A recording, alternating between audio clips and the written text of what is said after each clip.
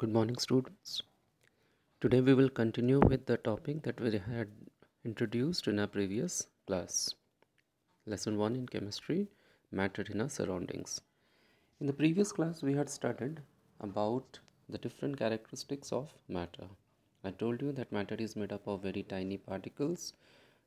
There may be some space between the particles. The particles are continuously moving and the particles attract each other with a certain force. Now, it is so observed that different forms of matter exist in nature. Why is it so? Because materials show some amount of variation as far as these properties are concerned. Like all forms of matter are composed of very small particles, but the amount of space existing between the particles, the force with which they attract each other and the extent to which they can move about their position. This may vary. So depending upon the variation in the characteristics shown by these materials we can classify matter into different groups. And today we will be focusing primarily on this particular topic states of matter Matter exists in five different states solid, liquid, gas, plasma, and Bose Einstein condensate. Out of these five states of matter, in your syllabus, we have to study only about solids, liquids, and gases. As far as the other two states are concerned, I will give you an introduction to plasma and Bose-Einstein condensate but no questions are going to be asked in your examination from these two topics. So we'll be focusing more on the properties of solids, liquids and gases. So let's study one by one about the different states of matter beginning with solids. Solids Collect a couple of articles present around you, say a pencil, a pen, a book, a needle, and a piece of wooden stick. Now, suppose I ask you one question Can you figure out any similarity between these objects? All these objects have a fixed shape, distinct boundaries, and a fixed volume. If you draw the outline of these objects in your notebook, you will find that they have got distinct boundaries. Now, if you are asked to change the shape and size of these objects, what needs to be done? You have to apply some force. In fact, a lot of effort will be required in order to bring about a change in the dimensions of these objects. Is it easy to compress them? Like by applying pressure, can you change the shape or size of these objects? No. Compressing these objects is so difficult. Now, if you are placing your pen, book, pencil and that wooden stick close to one another, would they intermix with each other? Absolutely not. They are not even diffusing with each other. So, all these observations help us to conclude that solids have a definite shape fixed volume, less or zero compressibility, not at all diffusible and requires a lot of force so as to change their dimensions. Now the question arises, why is it so? Just see the particle arrangement in solids, how closely they are packed there is very little space between the particles inside solids. That's the reason why the solids have got a fixed shape, distinct boundary and fixed volume. The particles are so tightly packed due to a large amount of force of attraction existing between them. So it is so difficult to compress them and that's the reason why they don't even mix with each other. So this is the particle arrangement of solids. Now let us understand all the properties of solids quickly. Solids have definite shape and fixed volume. The space between the particle is minimum. The force of attraction between the particles is maximum. The movement of the particles is hence minimum. They are least compressible. Their rate of diffusion is least. Now we will study about the next state of matter that is liquid.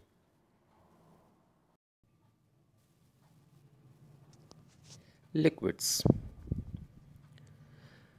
You can see that liquids show a very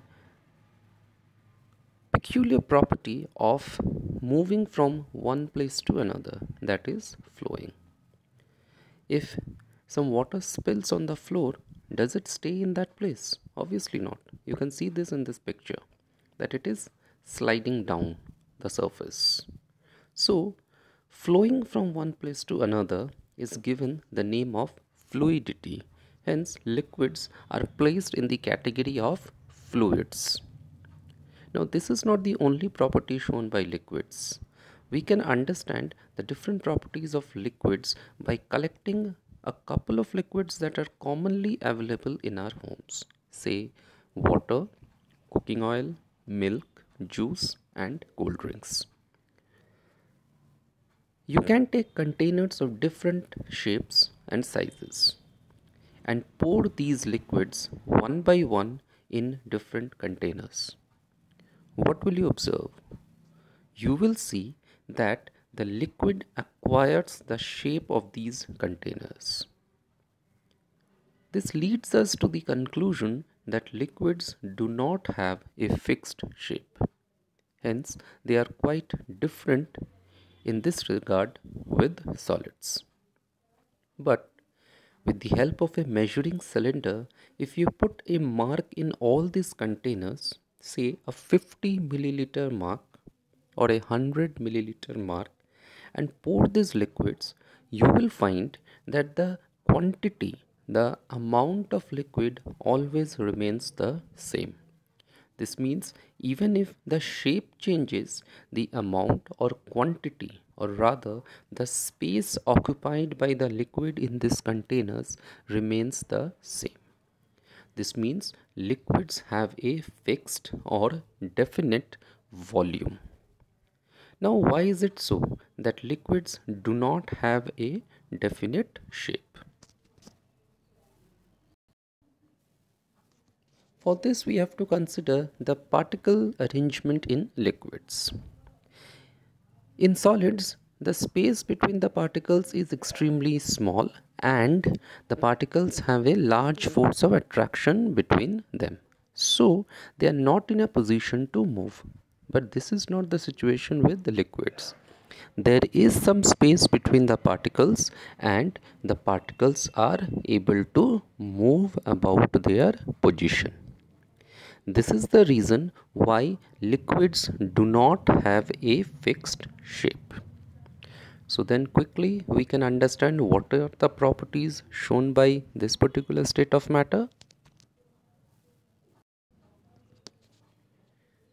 Liquids have no definite shape but have fixed volume.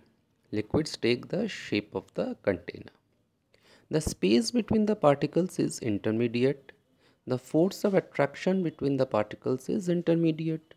The movement of the particles is also intermediate. They are less compressible. Their rate of diffusion is more than solids. If you are having two different liquids, say ink and water, they can mix with each other easily. This is also a difference between the properties shown by solids and liquids. Solids do not diffuse with each other but liquids can diffuse. Okay, so now we will study about gases. The third state of matter, gas. we know that we use the gaseous phase of matter as a fuel in our homes. Now just by observing that particular fuel, the cooking gas, liquefied petroleum gas, can we understand the properties shown by it? Or air that is present all around us. Can we use these examples to understand the properties shown by the gaseous phase of matter? Absolutely. We understand that air neither has a fixed shape nor it acquires a definite space. Like for example, if you fill in some air inside a balloon and then gradually release that air inside a room, will that air be confined within the same space as it was inside the balloon? Absolutely not. It will spread out evenly inside the entire room. If suppose we burn an incense stick, you can see the smoke coming out of it. And you can also observe how that smoke starts spreading out inside the entire home. Like even if you are sitting in another room, you can still get the fragrance coming out of that incense stick. How is it possible? Because that smoke, obviously, what is in the gaseous state, it starts moving out it starts spreading out. So it doesn't have a fixed shape and it doesn't have a fixed volume. Now why is it so?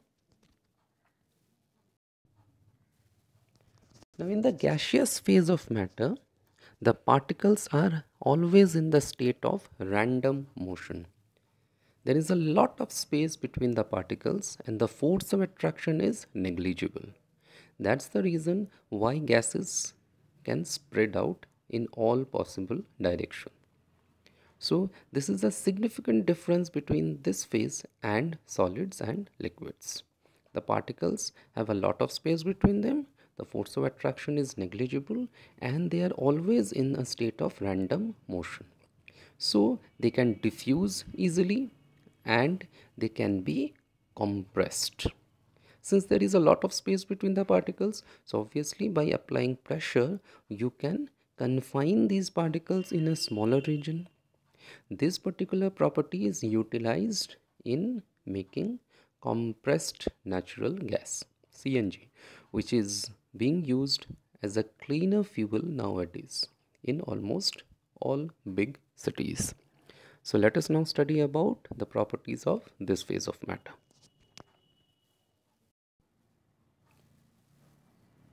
Gases have no definite shape or fixed volume. Gases occupy the whole space of the container. The space between the particles is maximum. The force of attraction between the particles is minimum. So obviously the movement of the particles will be maximum. They are most compressible and their rate of diffusion is more than solids and liquids. Now after studying the properties of solids, liquids and gases, I think now you are in a position to compare what is the difference shown by these three different states of matter. As I told you that we will be studying about the properties shown by solids, liquids and gases in a bit more detail but that doesn't stop us from introducing the fourth and fifth state of matter we will have a brief introduction regarding these two states. So let's begin with the fourth state of matter.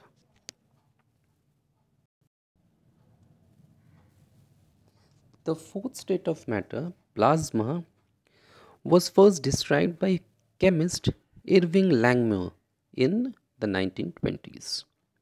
It consists of a gas of ions, atoms which have some of their orbital electrons removed and free electrons. It can also be artificially generated by heating a neutral gas or subjecting it to a strong electromagnetic field to the point where an ionized gaseous substance becomes increasingly electrically conductive. The resulting charged ions and electrons become influenced by long range electromagnetic fields, making the plasma dynamics more sensitive to these fields than a neutral gas. Now, do you know where plasmas are found? Plasmas are found in plasma displays including TV screens. They are found inside fluorescent lamps, rocket exhaust and ion thrusters, inside a corona discharge ozone generator, fusion energy research, electric arc in an arc lamp, plasma ball as you were seeing in the previous picture. They are also found in terrestri as terrestrial plasmas like in the lightning and then in space and astrophysical plasma group in the stars, the solar wind and the interstellar medium. Now very quickly then we will study about the fifth phase of matter. The fifth phase is the Bose-Einstein condensate. It is typically formed when a gas of bosons at low densities is cooled to temperatures very close to absolute zero that is minus 273.15 degree Celsius. Under such conditions, a large fraction of bosons occupy the lowest quantum state at which point microscopic quantum phenomena, particularly wave function interference, become apparent microscopically. Now, this may sound a bit difficult because this particular concept is not supposed to be studied at this level, but I just wanted to introduce the fifth state. In simple terms, you should understand that we are able to create Bose-Einstein condensate by cooling a gas of extremely low density. What should be the density? About 1 by 1 lakh times. This means 10 to the power minus 5 times the density of normal air to ultra low temperatures. Now you might be wondering why this particular state of matter is named like this because this state was first predicted in 1924 1925 by sir albert einstein following a paper written by Acharya Satyendra Nath Bose. So that's why, in honor of the name of these two great scientists, this particular state of matter is called Bose Einstein condensate. Now, what is the use of Bose Einstein condensate? Where is it found? Now, two examples of materials containing Bose-Einstein condensates are superconductors and superfluids. Superconductors conduct electricity with virtually zero electrical resistance. Once a current is started, it flows indefinitely. The liquid in a superfluid also flows forever. Now, the proposed areas of applications of Bose-Einstein condensate are quantum information processing, concept of quantum computer, precision measurement by development of most sensitive detectors using Bose-Einstein condensate. Apart from this, development of optical lattices which could be easily modifiable by varying the interplanar spacing. Okay, so this much will be enough to know for the time being about this fifth state of matter. I will end today's class at this point. We will discuss the remaining topics in our next session. Thank you.